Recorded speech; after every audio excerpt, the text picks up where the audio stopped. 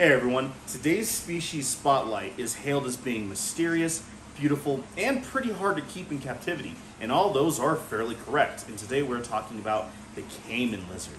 Now, the caiman lizard actually has two different species that both come from South America, mainly in the Amazon basin area in countries like Paraguay, Ecuador, Colombia, and Brazil.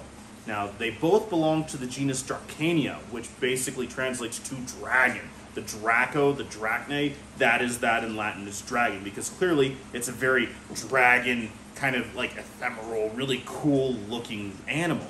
And they get their name caiman lizard because of a bunch of their very similarities to another species of reptile that they share their habitat with, and that is the caiman, usually the yacare caiman that is often found in the same areas. There are actually two different species. One, the one that we see most often, that is the northern caiman lizard, being a little bit more of that red to orange colored head, and then the green eh, usually, but it can vary body. The second is the Paraguayan, which is more unicolor. It's typically more of an olive green to kind of like a grayish brown color, although I think they still look pretty cool. Now they kind of look like what would be a semi-aquatic and arboreal tegu, and that would be pretty accurate because they both come from the same family, although clearly different species and genus. Now, these guys are a very large lizard, about four feet long, and as I talked about previously, they do share a lot of similarities to the caiman. When you look at their tails, they are very long and flattened, which allows them to use it as a paddle to propel themselves through the water. In addition to that, when you look at their scalation, it looks very similar to that of the caiman or of other crocodilians. They're not necessarily osteoderms like the crocodilians have, which are actual pieces of bone that sit under the scale, but they are raised up and considerably harder, so that looks very similar. The last of the adaptations, in addition to obviously being aquatic and looking like a crocodile tegu love baby, is to do with its eye. All crocodilians have a third eye that allow them to keep it open to be able to see underwater. And caiman lizards also have that. Super, super cool. Now, not a whole lot is known about their populations in the wild as far as numbers go. Most often they're listed as of least concern because there haven't been any real good studies to actually see what their populations truly are.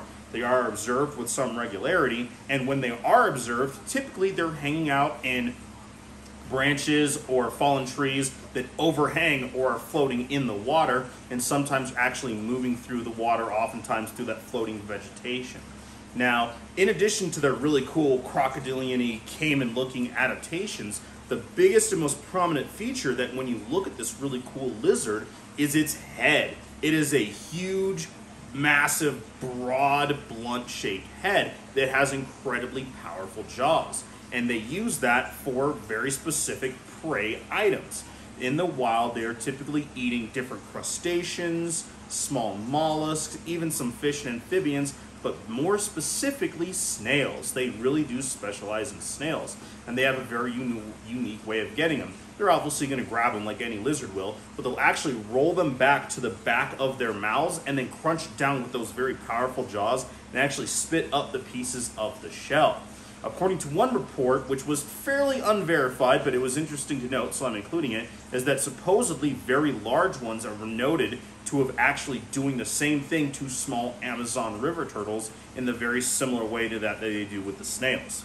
Now, because of this prey specialization, this is what is one of the biggest, if not the biggest, contributing factors to why they're difficult to keep in captivity. Now, obviously, being a four foot, very large lizard that is semi arboreal, that is semi aquatic, and likes to dig means that you need incredibly large enclosures to house them properly. You need to have multiple gallons, probably in the hundreds of gallons, of water for them to be able to not only move around in, but to actually spend time in, to maybe even throw in to give some really cool stimulation, actual uh, different prey items in the water. So you need lots of room for that. And of course, obviously, dealing with any aquatic reptilian species, incredibly large amounts of filtration. Being diurnal, you need full spectrum lighting with a fairly high hot spot as well, with multiple basking points. So it needs to be pretty high because, again, almost every single caiman lizard that you see, both in the wild And in, say, a zoological facility, they're almost always overhanging, hanging out on branches over the water. So you need lots of big basking spots and branches to overhang the water for them to choose where to thermoregulate properly, as well as plenty of land, not only to bask and thermoregulate, to dry out, to digest their food, but they also like to burrow, just like their cousins, the tegus. So you need a good area and maybe even a couple little humid hides for them to utilize as well. So that already is a big, big factor when it comes to limiting who can actually keep these guys properly. And then we get to the food. So almost every single caiman lizard that we have is wild caught. And in addition to all of the issues that come with the wild caught animals, caiman lizards specifically oftentimes will not accept foods other than usually live freshwater snails. Sometimes they'll accept cans because if you go to some specialty brick and mortar reptile stores, and probably you can order them online, they sell canned snails. And that is very difficult to get consistently and in large amounts for a very large or, God forbid, a pair of adult caiman lizards. They're very limiting, and you can't really go out and collect them wildly. You could try to breed them on your own, but it's a whole other mess to do that. But you don't want to collect them just like go out into your garden because of parasites and pathogens and all of the same reason why we typically don't catch wild rodents to feed our ball pythons and boas, right? Now, there are more and more animals that are starting to come from farms, which typically means that once they hatch, they're usually brought over relatively quickly, almost a little unnervingly quickly, and young, so that way they don't really get a chance to start eating all of these South American snails to get a taste for them and to stick with that. And then they have an easier time acclimating to our other prepared foods. In captivity, they, and even some of the wild caught ones, will sometimes eventually switch over to, say, shrimp, prepared diets like specialty canned foods for reptiles or even some cat foods, um, mussels, and again, live and canned snails.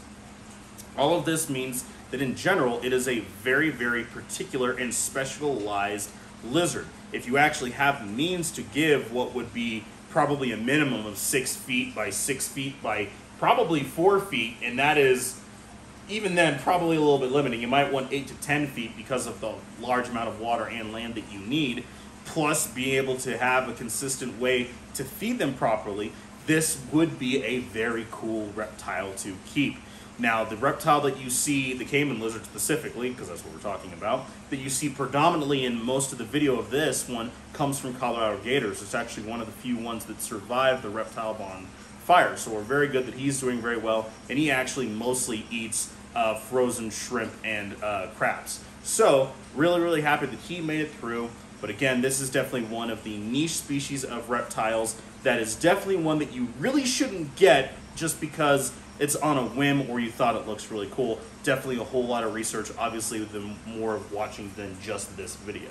Hopefully you guys enjoyed today's species spotlight. Hopefully you enjoyed a really, really cool species of uh, lizard. Again, because I was at Colorado Gators when I was filming this, so where this guy's is from. If you guys do live in Colorado or you feel like getting out this summer or really at any time, come check out Colorado Gators. Um, they're working on rebuilding their uh, reptile barn, bigger, better, newer than before, and it's going to be really cool. But hopefully you guys enjoyed today's video. Again, please like and subscribe, hit the bell notification, all of that YouTube mumbo jumbo. Um, please hit the playlist of Species Spotlight bunch of really cool species that are listed there. There's over 60 of them at this point. Again, thank you all so much. Hope everyone's having a great day, and we will check you next time.